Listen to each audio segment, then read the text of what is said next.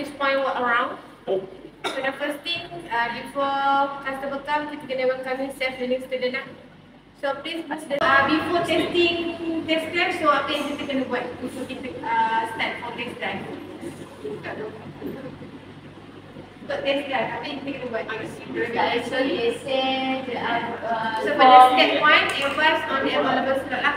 So before that, kita kena ambil buku, tengok ada slot ke tak ada.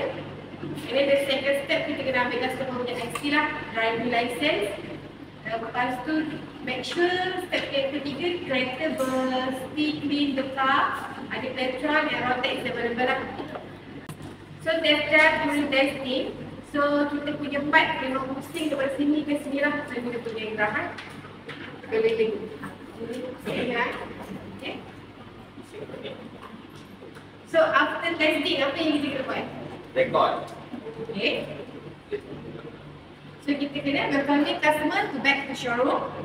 And after that, kita bagi dia hospitality from kat sini lah untuk customer. Lepas Serve tu, dia makan. serve dia makan. Lepas kita ada air dengan coklat lah. Dia sponsor.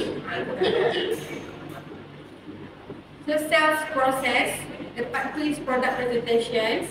So training objektif dia dekat sini kenapa kita kena bagi customer provider macam tu sebab by the end of the training you will able to deliver a comprehensive six points for around presentation lah.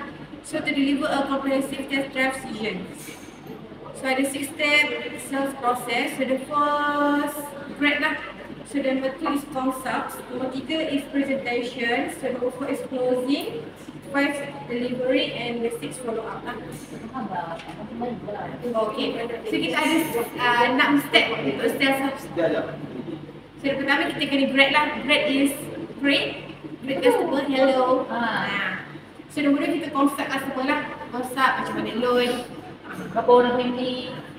So presentation, presentation that means bila kita dah submit loan, kita kena explain customer lah. And then nombor four, closing. Customer nak booking ke tak nak ke. Five, deliver, deliver macam biasa lah. So nombor six, follow up. Follow up that means service, kereta okey ke tak.